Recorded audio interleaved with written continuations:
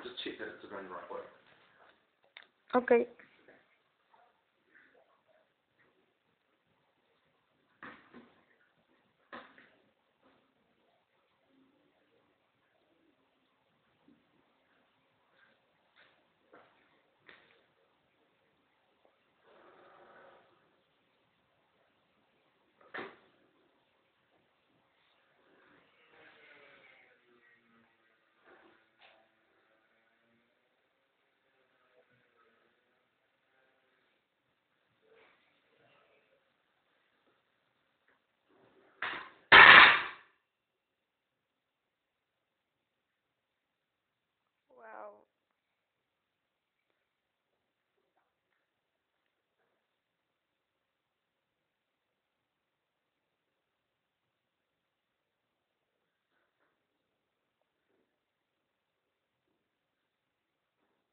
Stop.